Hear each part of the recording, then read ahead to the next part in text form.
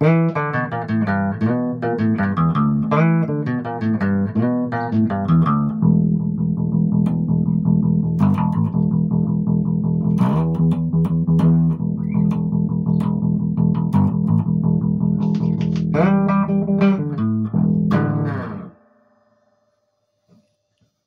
လုံးပဲမင်္ဂလာပါခင်ဗျဒီနေ့ကျွန်တော် bass guitar ကိုအခုမှစတီးမယ် တင်ယူမယ်ဝါသနာရှင်များအတွက်ကို bass guitar ကိုဘယ်လိုလေ့ကျင့်ရမလဲဘယ်လိုစတီးရမလဲဆိုတဲ့အခြေခံလေးကိုကျွန်တော်မျှဝေပေးချင်ပါတယ်ခင်ဗျကော့ရရဘာကော့ရနဲ့လေ့ကျင့်ရမလဲဆိုတော့ C ပါမယ် C ပါမယ် G ပါမယ် C G E minor E minor F C D minor G ဘာလို့အဲ့တော့ C C ရဒီမှာ flat down ရဲ့၃ခွဲမြောက်က အောက်ကရင်1 2 3 4 4ကျူးရှိတယ်ဗောနော် flat down ၃ခွဲမြောက်က3ကျူးကိုဒါ C ဒါ C နော်ဒါ C G ရကြတော့ flat down ၃ခွဲမြောက်က4ကျူး A minor A minor ကဒီ flat down 5ခွဲမြောက်က4ကျူး E minor E minor ကြတော့ဒီလေးကျိုးရဲ့ open string ကိုတီးလိုက်မယ်လွှတ်ကျိုးပေါ့နော်လွှတ်ကျိုးတီးလိုက်မယ်ဒီမဲ့နော် F flat down ရဲ့ပထမအကွက်ကလေးကျိုး G G ကလည်းတီးသွားပြီ A minor တီးသွားပြီ E minor လွှတ်ကျိုး D minor ခုန C ရဒီမှာ flat down 3ခွဲမြောက်က3ကျိုးပြီးတော့လို့ရှိရင်3ကျိုးမှာပဲ flat down 5ခွဲမြောက်က3ကျိုးဒါ D minor အိုက်ကော့တွေပဲတီးမယ်အဲ့တော့မတီးခင်မှာနှုတ်ရဲ့သဘောတရားကိုတစ်ချက်ရှင်းပြမယ်ခင်ဗျာဘယ်လိုပုံစံနဲ့တီးရပထမ တော့၈ပါး၈ပါးကို C G A minor E minor F C D minor G ပေါ့၈ပါးပတန်ပေါ့အဲ့ဒီ၈ပါးကိုပထမတစ်ခေါက်က cross chest တန်မှုနဲ့တီးမယ် cross chest ဆိုတာမျိုးကအခုတီးရမှာ4 4တိုင်ပဲပေါ့4 4တိုင်ပဲဆိုတော့1 2 3 4လေးချက်ကိုအခြေခံတာ cross chest ဆိုတာမျိုးက1တစ်ချက်2တစ်ချက်3တစ်ချက်4တစ်ချက်တစ်ပါးမှာဒီချက်တီးတာ4 note ပေါ့နော် four notes သူကလူပေါ့1 2 3 4 အဲ့လိုတီးတဲ့ခါမှာဒီအနောက်က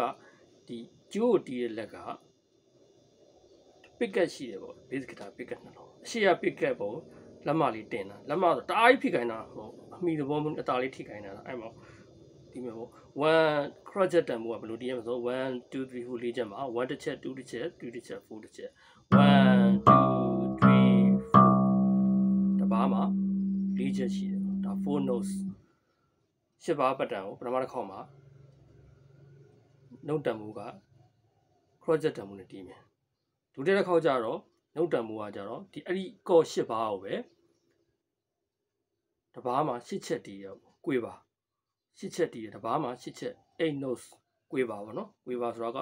1နှစ်ချက်2နှစ်ချက်3နှစ်ချက်4နှစ်ချက်ဒီလိုပေါ့1 and 2 and 3 and 4 and အဲ့လိုဒီလက်တီကတီးတဲ့အခါမှာအဲ့လို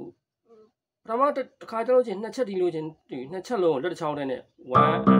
အဲ့ဒါဆိုမှားပါတယ်1 and လက်ညှိုးနဲ့လက်ကလေးတစ်ချက်စီပါလက်တစ်ချောင်းနဲ့နှစ်ခါထပ်သွားတာကိုပါဆိုမှားပါတယ်အဲ့တော့1 and 2 and 3 and 4အဲ့ဒါကကွေပါတပားမှာရှစ်ချက်တီးတာပေါ့အဲ့တော့ပြောချင်တာအဲ့ကွေပါကွေပါဆိုတာကတပားမှာရှစ်ချက်တီးတာတပား8 notes ပေါ့နော်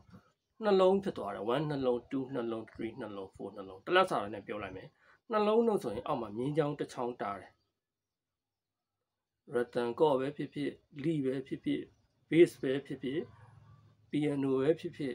drum note ပဲဖြစ်ဖြစ်နှလုံးနှုတ်ဆိုရင်မြင်းချောင်းတစ်ချောင်းတားတယ်1 and 2 and 3 and 4 and နှလုံးဆိုရင်မြင်းချောင်းတစ်ချောင်းတားတယ်အဲ့တော့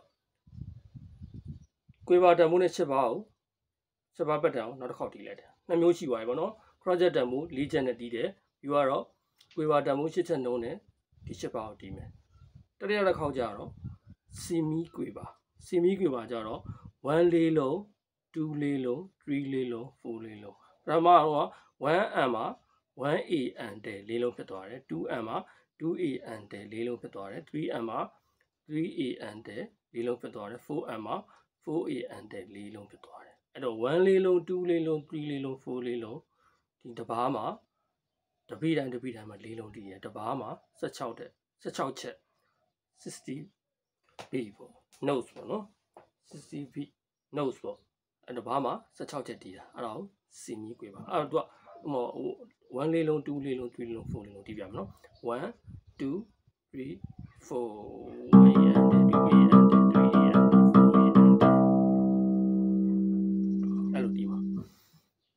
ကိုကျွန်တော်တီးပြမယ်ပေါ့ C A မိုင်တီးရမှာ C G A မိုင်နာ E မိုင်နာ F C D မိုင်နာ G ပေါ့အခုကတော့လောလောဆယ်အဲ့တော့ကိုမတီးသေးဘူး C ရဲ့ A မိုင်နာရဲ့ F ရဲ့ G ရဲ့ကိုပထမတစ်ခေါက်တီးရမယ်နှုတ်တံမူနဲ့တီးပြမယ် crotchet ပေါ့ crotchet က1 2 3 4 1တစ်ချက်2တစ်ချက်3တစ်ချက်4တစ်ချက်1မှာလက်ညှိုး2မှာလက်ကလေး3မှာလက်ညှိုး4မှာလက်ကလေးအဲ့တော့1 C A minor F G တစ်ခေါက်တည်းပြမယ်နော်1 2 3 4 1 2 3 4 1 sorry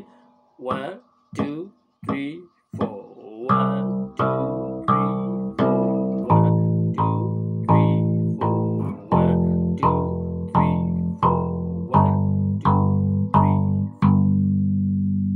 2 cross တက်မှုတစ်ခေါက်ပြီးတော့နောက်တစ်ခေါက် ICA minor FG ကိုပဲ ကွေးပါတန်ဖိုးနဲ့တည်ပြရမယ်1 2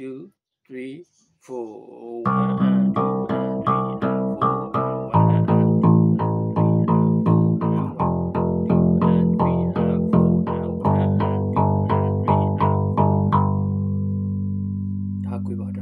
ီတော့ C A minor F G ကိုပဲ semi ကွေပါတန်ပုံနဲ့တီးပြအောင်နော်1 2 3 4 1 and 2 and 3 and 4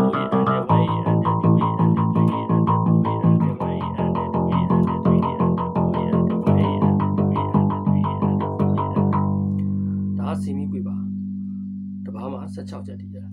60 notes နော် crutcher ကတဘာမှာ၄ချက်တည်တာ4 notes ကွေဝါကတဘာမှာ6ချက်တည်တာ8 notes စီမီကွေဝါကတဘာမှာ16ချက်တည်တာ60 notes အဲ့တော့တီးရမှာက C G A minor E minor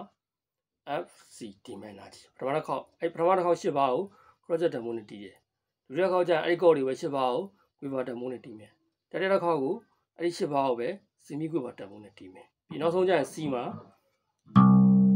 1မှာပဲ file လိုက်တန်မိုကတော့ဘယ်လောက်ဖြစ်မလဲဆိုတော့80 81 82တန်မိုလောက်တော့ရှိမယ်အဲ့လိုတော့ဒီအဲ့လောက်လေးအဲ့လောက်အရင်တီးကြည့်လိုက်ပါတော့မတီးနိုင်ဘူးဆိုတော့မှတန်မိုအဲ့ဒါနည်းနည်းလေးချပြီးတော့လေ့ကျင့်လို့ရပါတယ်အဲ့တော့တီးပြမယ်နော် အဲ့တော့တီးလို့ရှိရင် C ကိုတီးလို့ရမယ် G ကိုလက်ညှိုးရပဲအပေါ်တက်မယ် A minor ကိုလက်တန်းပဲကင်ကင်လက်တကြွပဲကင်ကင်တန်တဲ့လက်ကိုကင်ပါကိုအဆင်ပြေတဲ့လက်ကိုကင်ပါကိုကတော့ပြီးသားရမယ်ပြီးသားမှရမယ်နော်အဲ့တော့ E minor ကလေးကျိုးရဲ့ open string လွတ်ကျိုးနော်ပြီးရင် F ကဒီမှာနော် 1C ဒီလက်နဲ့ C ကိုပြန်ထောက်တဲ့အခါမှာလက်တန်းပဲထောက်ထောက်လက်တကြွပဲထောက်ထောက်ကိုတန်တဲ့လက်နဲ့ထောက်လို့ရပါတယ် UN D minor တစ်ခွက်ကျော်လိုက် သွားမယ် UN C ကိုဒီလိုပြန်ဆက်မယ်နော်အဲ့တော့ကျွန်တော်ပုံမှန်လေးတန်မူ80 80ကျော်လဲနည်းနည်းပေါ့81 82ဝန်းကျင်လောက်တီးပြပါနော်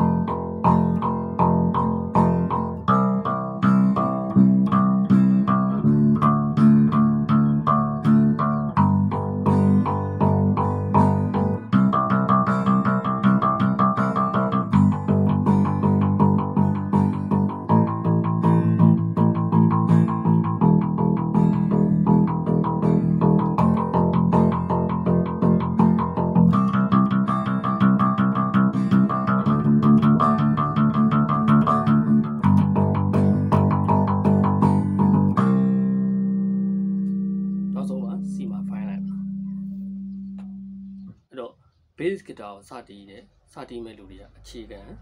နှုတ်ရဲ့သဘောတရားကိုလည်းသိသွားမယ် project ဆိုရင်1 2 3 4ဒီချက်လုံးတီးတယ် demo ပွေပါဆိုလဲ1 and 2 and 3 and 4 and တပားမှာ8ချက်တူးတယ်